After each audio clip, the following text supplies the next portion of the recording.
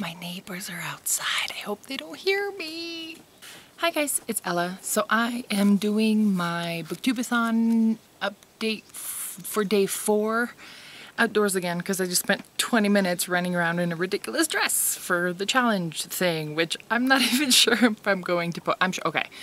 I'm sure I'm going to post, but it's ridiculous, just fair warning. So stay tuned at the end of the video for that. Now for what I read today. I actually finished Fables by Bill Willingham. This is a little hit or miss for me, but I'll talk more about it in my wrap up for the whole booktubeathon. But so I finished this. I enjoyed it. It was, I mean, it was okay. It's, it's really hit or miss though. That's the only problem.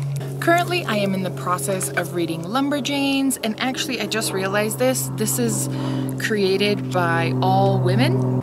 Um, so it's by Noelle Stevenson and Grace Ellis, Brooke Allen, Maarta Laiho, and Aubrey Aiese. This I am enjoying quite a bit. It's really colorful and it's really fun. It's about girls at camp and it's it's pretty good, I have to say.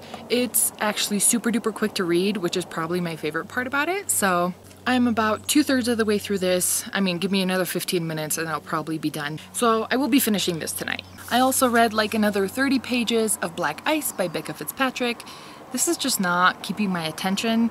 The story, I don't know, it's just not what I expected, I guess. I think it could be good, but it's a little bit weird. I will, I do want to finish this before the end of the booktubeathon, so I'll probably be finishing this tomorrow, but I might not, to be quite honest. My other reading plans for tomorrow are actually pretty ambitious. I have to go back to school shopping, which kind of sucks, but you know, whatever. So the first one I have, and these, I'm probably not going to end up reading all of these, but I will probably end up reading one of these just because there's three. I'm just going to see what I feel like. This is Ms. Marvel, No Normal. This, I mean, everybody talks about this. This is about a girl superhero I have heard really good things about this. The art looks really well done.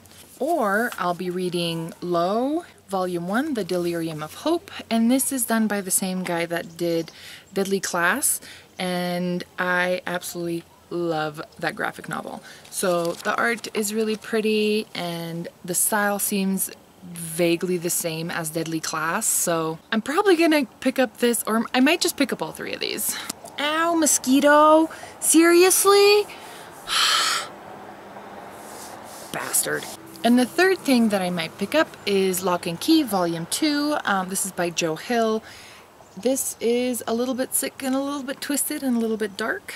See, even the art is really dark. I did enjoy the first one. I wasn't like thrown on the floor by it. It was really violent, but We'll see how the second one goes, obviously from the library, as you can see from the sticker. So these are my reading plans for tonight and tomorrow. I'm gonna go edit and upload and stuff. Stay tuned now for my ridiculous movie.